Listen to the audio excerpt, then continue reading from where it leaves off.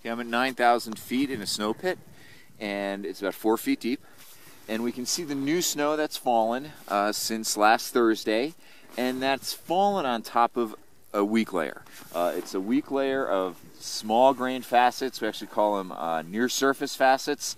And they formed during the spell of dry weather that lasted about two weeks um, prior to the snowfall. We're getting uh, stability test results of CT12, ECT14. Basically, we're seeing this layer right here propagate in our stability test, showing instability um, with kind of moderate force. Um, the take home message here is that with more snow, I would certainly expect this layer to break naturally. I would expect to see natural avalanches. So we're going to be keeping an eye on this as it starts getting more snow.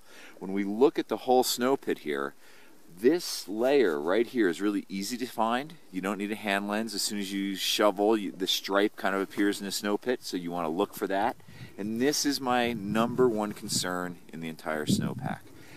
I'm still not forgetting about these weak facets at the ground, but this is taking precedent because this is even weaker than that is. So